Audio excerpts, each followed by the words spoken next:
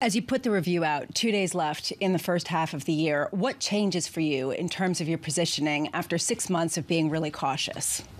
Um, well, I think the biggest uh, change is as we think about kind of the environment where yields have risen, is that we're actually within fixed income excited about opportunities uh, across the spectrum. So we have been talking a lot about front end of the curve, which we still like, but we're actually also putting cash to work across the broader exposures uh, in uh, fixed income, including uh, MBS, mortgage-backed securities, including inflation-linked bonds, especially in the US, uh, and also including high grade credit and local currency emerging market debt. And more broadly, as we think about what has changed, we're rolling out the new investment playbook where the first layer is around uh, macro based asset allocation, but macro can only take us this far in this environment of supply constraint. So we're also thinking about having the second layer of very granular, uncorrelated, uh, individual uh, uh investment uh, opportunities to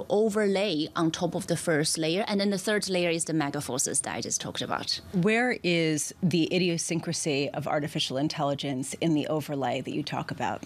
Well, um, so far, if you look at markets this year, it's been a very narrow thematic markets, right? So that has taught us that just base uh, asset allocation on macro assessment alone is not enough anymore. Um, so far, uh, we have talked about uh, bias towards quality a tilt towards quality in our US equity uh, allocation. But what we're doing differently at this midyear outlook is to break that out and explicitly call out a conviction in uh, developed market uh, AI, which we have had indirect exposure towards, but now we want to call them out explicitly because the interplay between the cyclical framing and the structural mega forces is so complicated and nuanced that we cannot afford to muddle them and mix them up together.